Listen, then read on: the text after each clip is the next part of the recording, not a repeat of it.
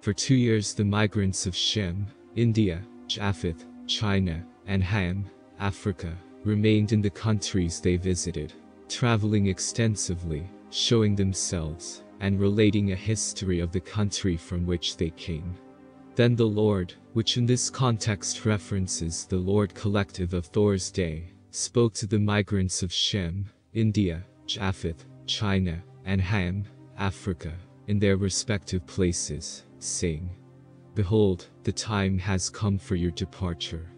Gather together, O my beloved, and return to your own country, and relate there all the glories that the Lord your God has shown you. So they, the beloved of Shem, Japheth, and Ham, departed, and returned to their own respective places. And, behold, it took four years to accomplish the journey. Now during the migrants' travel, the Lord spoke to them, the migrants, every day through the Ihin priests. The Lord said, Keep together, O my beloved of Shem, Japheth, and Ham.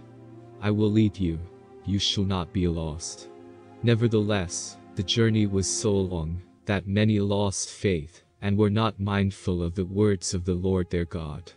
And some of them strayed off among the Ahuans, the barbarians, and were lost. Of the 6,000 migrants, 10 tribes were lost. In all, 386 people, men and women. Some were lost in one place and some in another.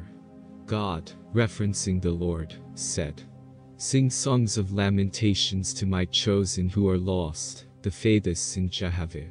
For this also shall become a matter of record to the end of the world. Nevertheless, a time shall come when the Lord your God shall reveal the mystery of this day. So, when the people of Shem, Japheth, and Ham had returned to their respective places, behold, they all sang songs of lamentation for the tribes that were lost. And so the situation remains until this day, that in all of these countries, namely, India, China, Egypt, and Persia, that there is still in existence a legend that, long ago, the chosen of God went on a long journey in search of their ancient brethren, and that ten tribes were lost in the wilderness. God, referencing the Lord, said, I have shown you, my beloved, the far distant people. I have marked out the road. Keep the road open, keep the travel open between the great countries I have shown you. Every eleven years one expedition shall start to the far-off countries. And if by chance you, my beloved, find my chosen who were lost, bring them home. And beloved, on all the camping places of your journey, you shall build an altar to the Lord your God. You shall build it in the shape of a circle, and the congregation shall sit in this circle, but the priest shall sit in its center. And, behold, I will speak through the mouth of my priest, words of wisdom and comfort. But beloved, in all your journeys, keep aloof, apart, from the Ahuans, the barbarians, the man-eaters. For they did not keep my commandments, nor did they preserve their seed through the circumcision. But they, the uncircumcised Ahuans, mixed with the Druks, the ground people, and went down in darkness, barbarism.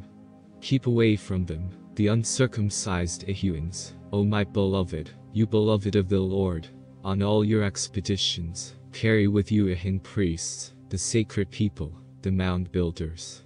O beloved, in all your journeys you shall encounter your brethren coming and going, who dwell in the far-off countries. So that you may distinguish them, keep secret the sacred password, Jehovah, and the rites of my Chava, order, the Chava, order of the Lord.